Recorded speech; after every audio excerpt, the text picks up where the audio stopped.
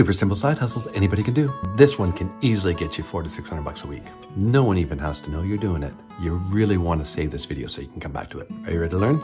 Let's go. Open up your browser, search for Sephora affiliate program and click this one right here. Fill out the form, become an affiliate. Once you're an affiliate, go to Sephora's site, find something cool to promote, grab the information and any descriptions. Pop over to Pinterest, make a pin, put the image there, title, description, and right there is where your affiliate link goes. This is called affiliate marketing. Sephora pays 5 to 10%, which is 5 to 10 bucks on a $100 product. Now, how would you like to earn 50% on $1,000 products? This is what I do. It's called high ticket digital marketing. Now, if you want to do what I do, comment I'm ready and I'll send you the details.